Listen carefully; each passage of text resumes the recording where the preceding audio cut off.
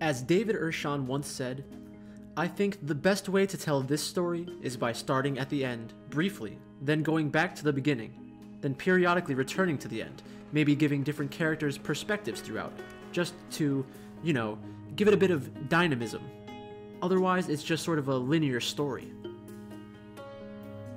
Shortly after the Nexus explodes in Game 5 of the NALCS Finals, a man runs onto the stage, hands raised above his head, cackling maniacally. After a quick embrace with his players, he turns to the crowd and stares down his fellow owners, who are all in attendance. First, he locks eyes with the owner of the team that came in last place, ex NBA player Rick Fox, who used all the money Kobe Bryant made him to buy an esports franchise before it was cool.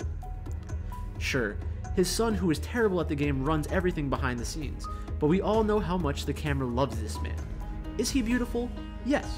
Did he manage to mess things up with Eliza Dushku? Yes. Is this forgivable?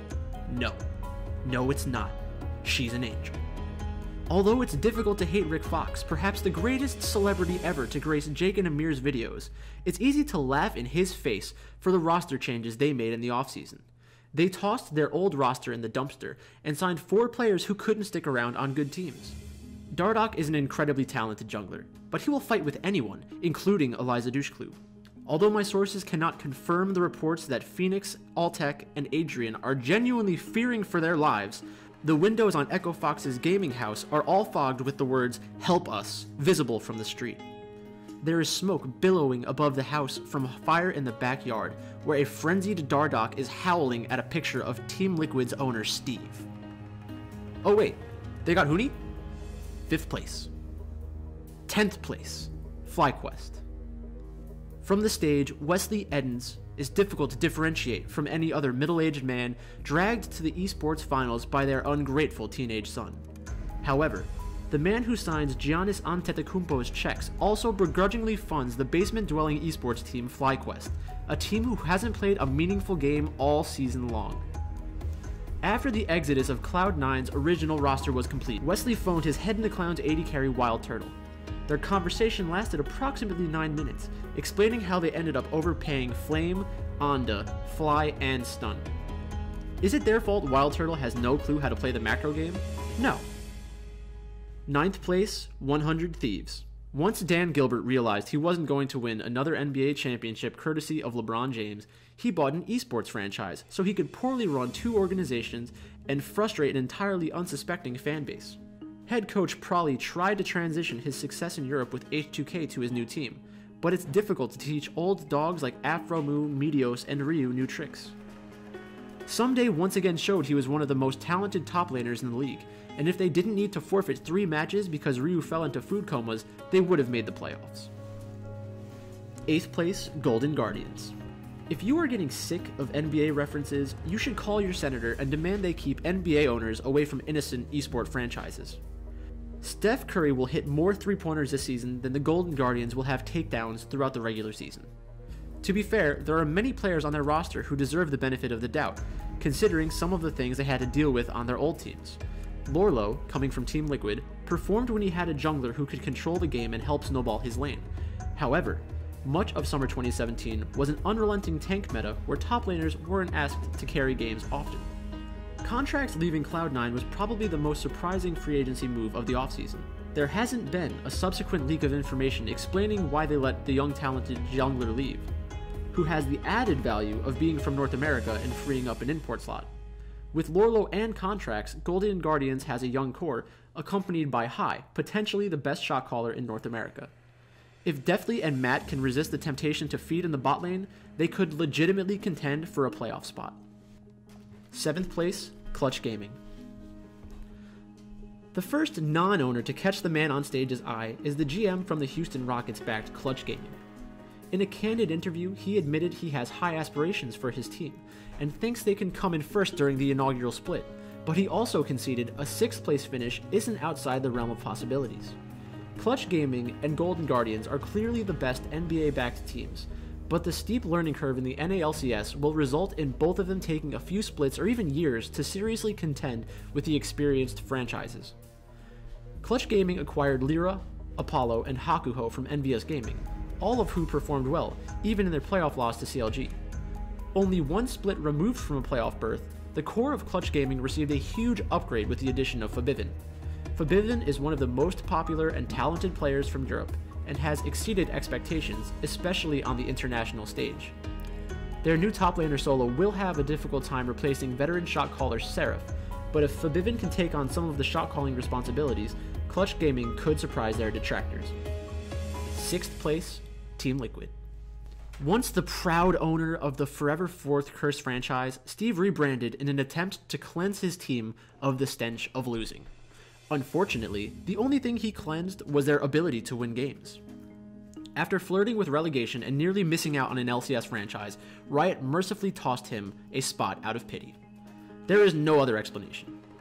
The man on stage makes sure to maintain eye contact with Steve for 4 seconds in hopes he would give him $4 million, roughly the amount of money that can be found in Steve's sewage tank. And to think, most of the so called experts were calling this team a contender before the season started. They were lucky to make the playoffs, and were quickly dispatched in the first round. Most people still seem to love Doublelift, the most overrated player in League of Legends history, but it was really quite easy to see his egotistical tendencies hold back Impact, Xmithie, Belter, and Ollie, who were all extremely happy with the size of their paychecks. Team Liquid apparently needs to have at least one player who is convinced of their supremacy and will rot the team from within. There is a shriek in the crowd and the lights flicker. Dardoch appears between Team Liquid and C9. He winks at the man on stage and turns to Steve. He raises his finger to his lips and motions for silence. Fourth place, Cloud9. C9's owner is inexplicably wearing shades. The man on the stage freezes. C9 Jack removes his glasses and tears are streaming down his face. He gives a wink and a big thumbs up. Jack wishes he were as successful as the other OG owners, but has nobody to blame but himself after allowing Impact and Contractz to both leave in the offseason. Impact's championship pedigree and mechanical ability will be difficult to replace, even though he had to split time with Ray throughout last split. Svenskeren is now C9's jungler, which is a drastic departure from Contractz. Svenskeren was carried heavily throughout his career on TSM, mostly due to the ability of Bjergsen to shot call and attract all of the attention from the enemy team. Now on his own, Svenskeren will most likely disappoint C9 fans, and cause Jensen to return to his DDoSing ways. At some point over the next two splits, C9 will need to find a long term solution in the jungle, preferably someone from NA, so they can use Ray in the top lane. Sneaky, Smoothie, and Jensen are a strong core, but the other members of the team will make it difficult to compete with the best teams in North America. Third place, Optic Gaming. Optic Gaming has approximately 17 owners, and this rattled the man on the stage. To be fair, I wouldn't be able to pick them out of a lineup if they were the only ones included, which makes it even more shocking that they were able to put together a team that is easily the best new addition to the North American LCS, and potentially even compete for a championship. Power of Evil is the most underrated mid laner in the world, and carried Misfits throughout Worlds in 2017. His Orianna is truly special, and will require target bans in perpetuity. His shot calling will be bolstered by the notebook himself, LemonNation. Lemon is one of the most intelligent people in the NALCS and has consistently helped define the meta, particularly in the bot lane. His willingness to try new things continuously produces exciting picks and results in his team looking like geniuses. Akaadian will look to rebound from a tough year on Echo Fox, which was largely not his fault.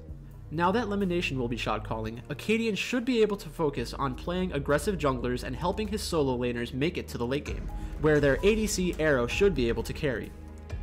Arrow is a world class ADC, and as long as his English is steadily improving, he will be in position to show why informed fans were so excited when he came to North America last year.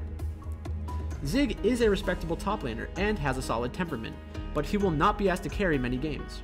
As long as Zig goes even in lane, his team will have a realistic chance to beat every team in the NALCS, except second place, Counter Logic Gaming. The CLG and TSM rivalry is as old as League itself, and both owners are largely responsible for the growth and development of the NALCS. Hotshot GG and his disgusting pink hair have come a long way from single handedly losing his team games.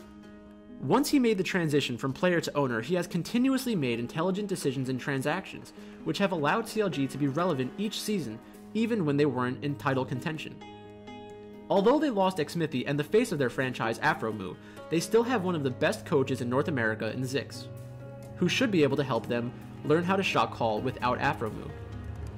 CLG wasn't dependent on a solitary shot caller, which should allow Reignover and Biofrost to blend into the team quickly Biofrost has the potential to become one of the better supports in North America, and should have more room to make plays now that he has escaped the shadow of Doublelift.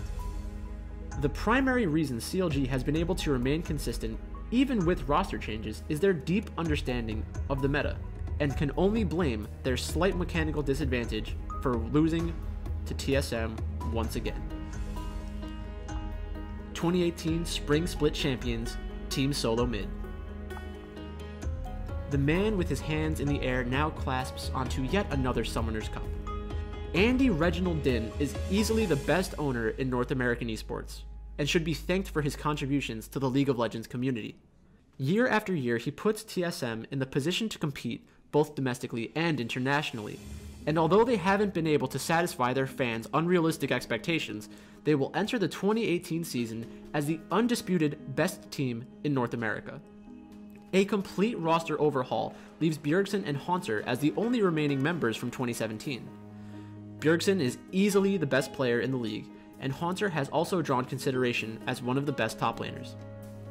The best acquisition of the offseason are the signings of Zven and Mithy from G2. G2 has been the best team in Europe for over a year, and although many people attribute that success to Perkz, the bot lane is where the real strength of the team was generated.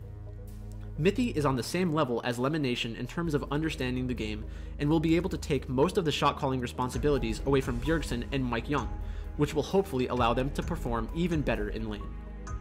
The argument could be made that TSM has either the best player or player with the most potential in every role, which is unheard of. The only way TSM fails to lift the cup at the end of the spring split is the inability of Mike Yeung to live up to the hype and cave under the enormous pressure of the TSM fanbase. After the euphoric explosion of emotions subsides, Reginald turns back to the crowd smiling. The lights flicker twice, quickly, before the arena goes dark. A shocked silence fills the room. Someone is howling. When the lights return, Steve has disappeared. Where, where's, where's Steve? Where has Steve gone?